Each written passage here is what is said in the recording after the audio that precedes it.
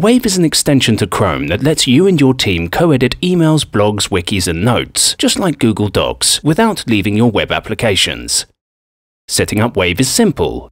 Install the extension from Chrome Store, then create an account so we can notify you when you are invited to a new collaboration session. You can do this by either linking your Google Plus account or with your email. Start co-editing is super easy. A Wave badge will be displayed in your web application.